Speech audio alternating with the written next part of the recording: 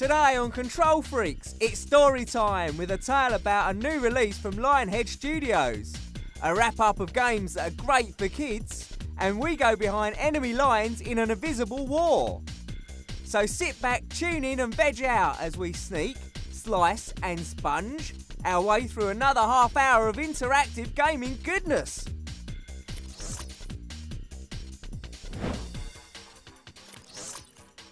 Video games have supplied the inspiration and stories for movies for years, with some success and a lot of failure. Tomb Raider, Resident Evil, and Final Fantasy to name a few. Now it's Doom's turn, with Hollywood turning again to the popular culture of games to put bums on seats. As reported on the Universal website, Doom is already in production.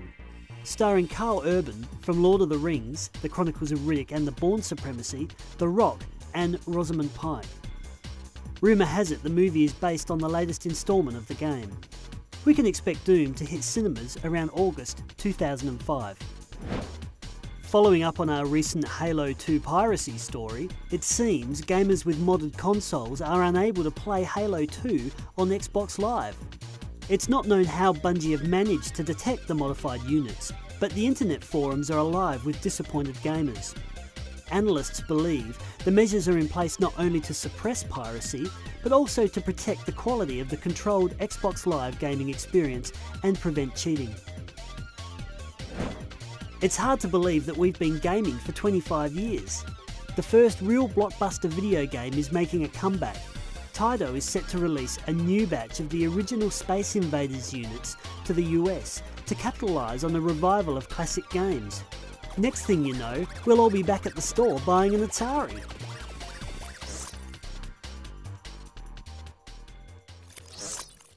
It's time to take an epic journey into the streets of Hong Kong as Shenmue 2 leaps out of the Dreamcast and into the Xbox.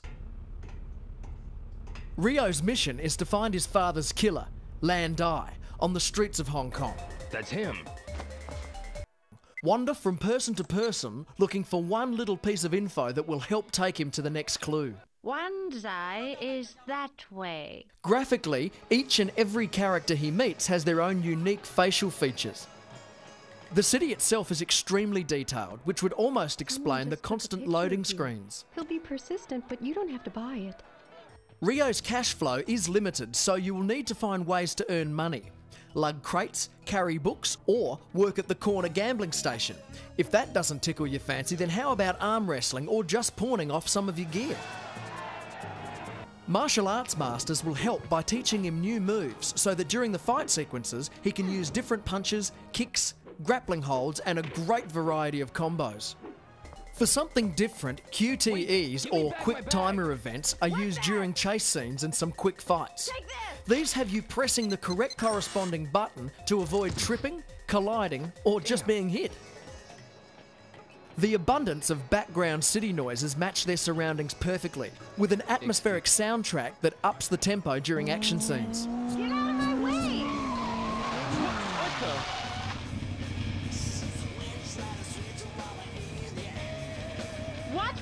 Going, you punk!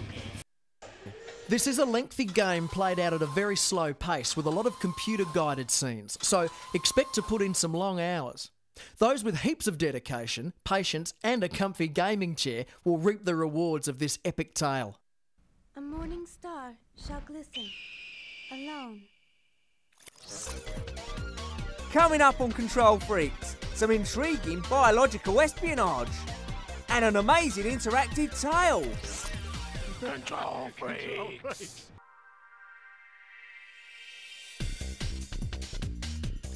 We got our hands on some of THQ's new lineup, so here's a sneak peek. As usual, the franchise machine is in full motion at THQ, and there's a big showing of popular Nickelodeon properties.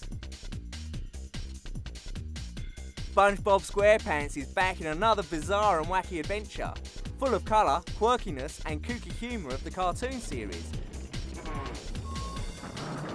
Bubble Parlor!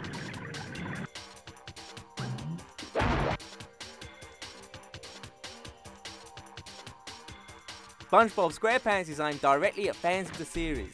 Gameplay seems quite simple and will suit the kids it's aimed at.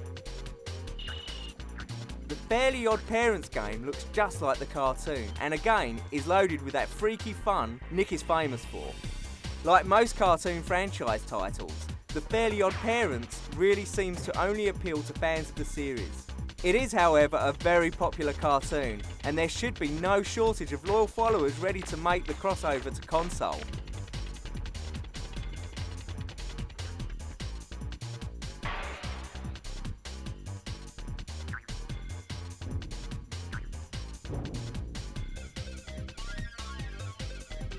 The very cool, very smart, and very short Jimmy Neutron is back in another game and adventure. Jimmy Neutron and the Attack of the Twonkies is the next instalment in the popular cartoon Brainiac's Juggernaut. Who would have thought that a short film about a boy and his rocket could go on to spawn movies, TV series, and video games?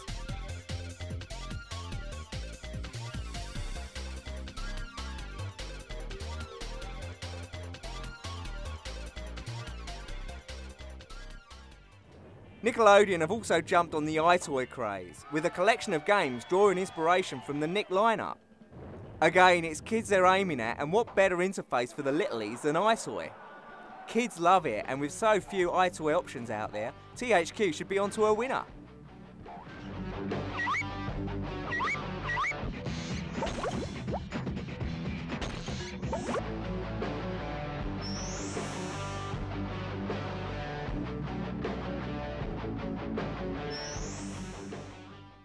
The very popular Tak is returning Tak 2, and this very fun and excellently produced game series should keep fans very happy.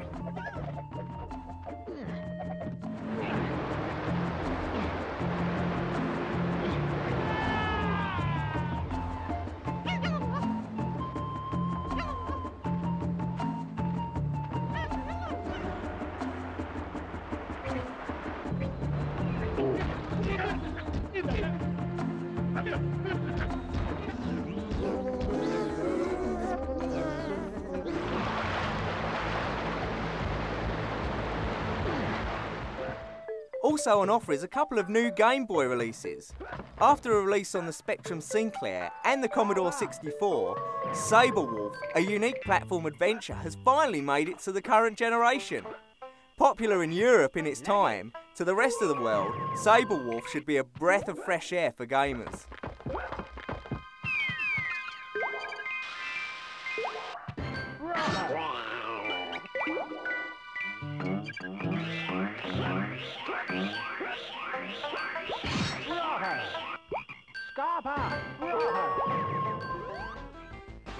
The biggie for the year is Sonic Advance 3.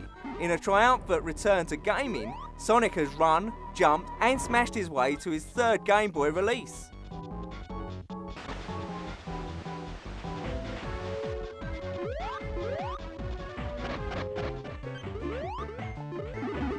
I guess the big question is, when will Sonic return to the console? We'll bring you the full review of all these titles as the series continues.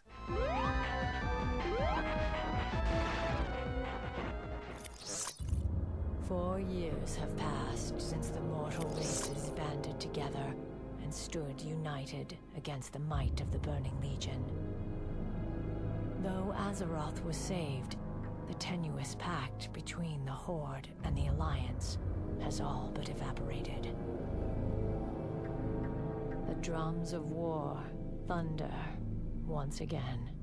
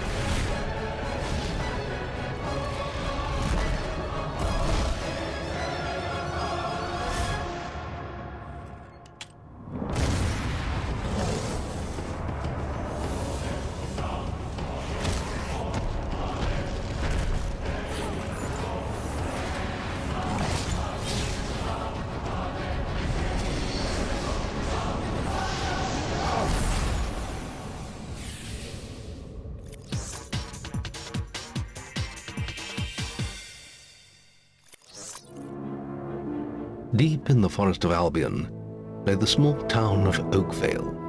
Here lived a boy and his family, a boy dreaming of greatness, of one day being a hero. Fable is an RPG action adventure game with lots of choices for the characters and the people that are playing them to make. Sometimes he imagined himself as a noble knight or a powerful wizard. And other times he dreamt he'd be an evil warrior.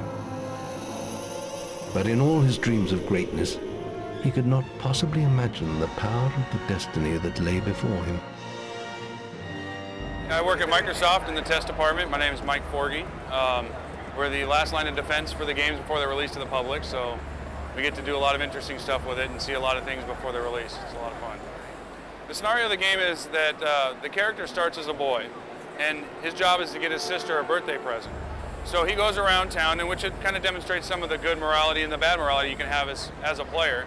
He goes around town and does deeds to get paid from uh, gold pieces so he can buy his sister a present. And in the process of doing that, he can break the law or he can help people out. And after doing that and getting his sister a present, bandits raid the town and kill his family, basically. So he's hiding, his family gets taken away or slaughtered, and so does the rest of the town.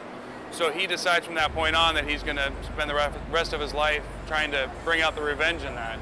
He gets met by a, um, another hero, an older hero, that takes him to the guild, the Heroes Guild, and trains him in all the arts of weaponry uh, with the archery and the, and the sword, and he learns his will powers, which is his magics.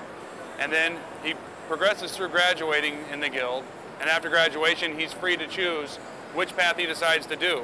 His ultimate goal is still to, to get revenge for his family, but the way he gets it is can be a lot of different ways. Thanks for saving me. I'm going to tell everyone about you.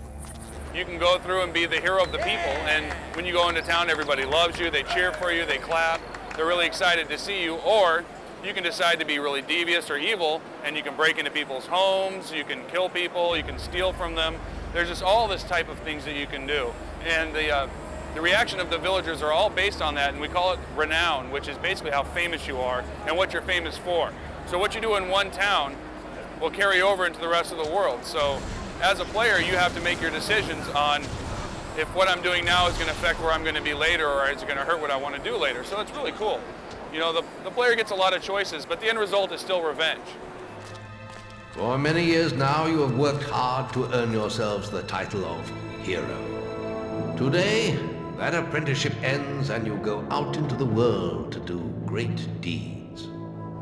Deeds that will bring you the gratitude of thousands, or strike fear into their hearts. These are dark times. The shadows of Albion are stirring, and strange winds are blowing. Yeah, it's it's it's more like an action adventure RPG because there's a lot of action elements to it but it is an RPG also, and it's got elements of all of that, which I think is going to help, you know, uh, make it more more of a broad audience, help make it more available to everybody, and because um, it has all the stuff for leveling up your hero, it has all the things for getting all the different experience, how to spend them, and where you get them from. In addition to the fact that it has a great combat system. It's being developed at Lionhead Studios over in England with Big Blue Box. Peter, it's a Peter Molyneux title, so we got his brain working on it too, which is amazing. The guy just, he has so much creativity, I don't know where he stores it all. Um, so we have them and they're a great team, great developers, a really good imagination, a wonderful art team. It starts over there, they put all the work together, they send it to us and we basically try to break it every way we possibly can. And they get the fixes in and we try to, at the end of the day to have a great fun game that delivers what we promise to the users and I think we have that. It'll be released on Xbox and should be a big hit. Everybody loves it now. Next on Control Freaks, wheeling and dealing in a fight for freedom. Good job,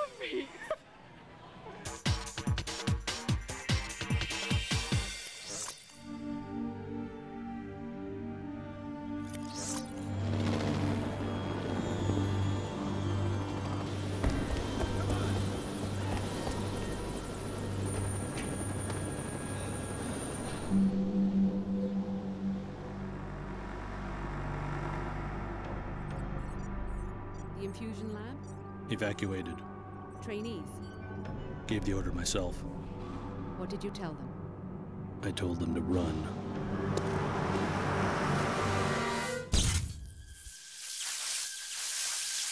The security bots have acquired the target. We're too late!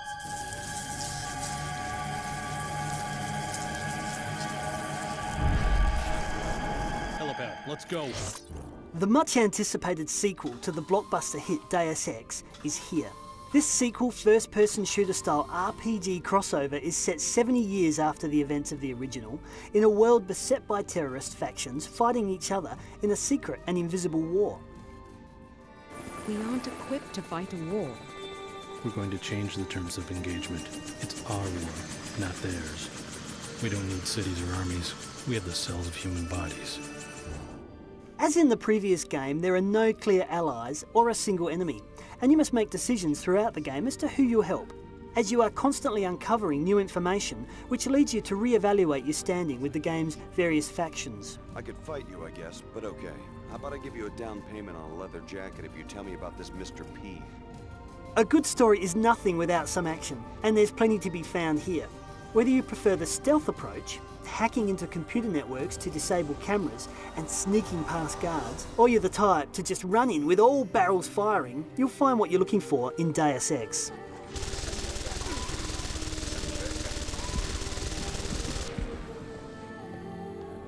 While the skill system from the last game is gone, biomodification is still used, which keeps the RPG feel alive. Biomods range from regeneration to hacking to invisibility. It seems that every mission or hostile situation can be approached from many different angles, with a huge range of weapons, gadgets, and biomod abilities to aid you whatever you do, leaving you feeling a bit like a kid in a candy store. Visuals in Deus Ex have broken some new ground, being one of the first games boasting dynamic lighting. The models are tight and impressive, and the cutscenes are compelling, as they should be in today's games.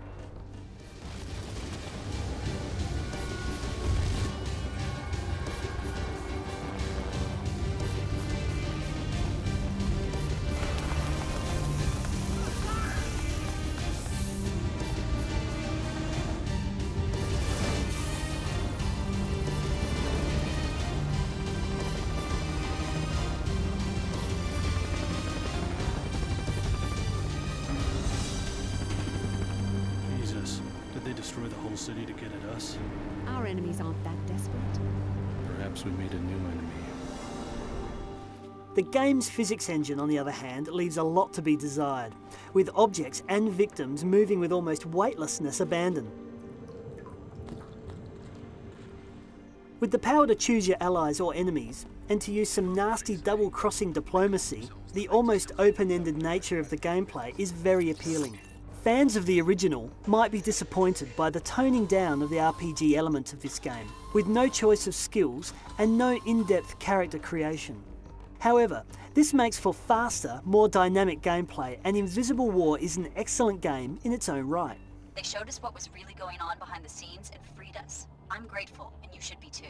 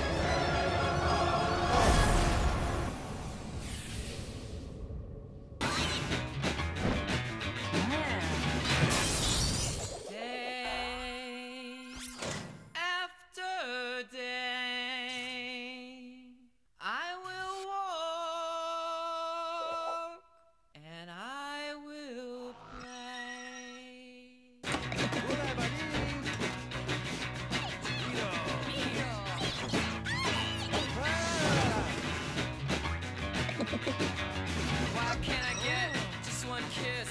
Why can't I get just one kiss? Maybe be some things I wouldn't miss. But your pants and I need a kiss.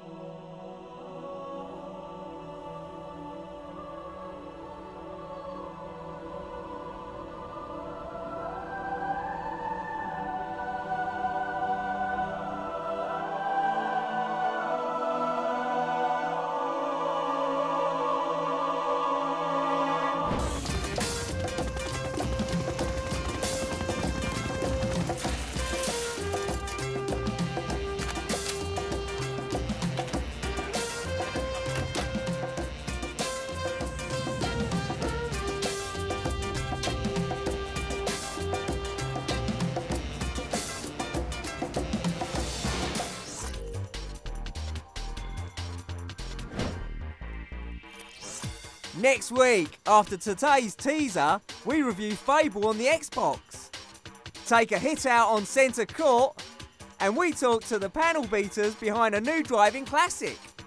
So slip into your flame-proof crash suit as we fire, burn and explode our way through the raging digital inferno that is computer and video games. Control freaks!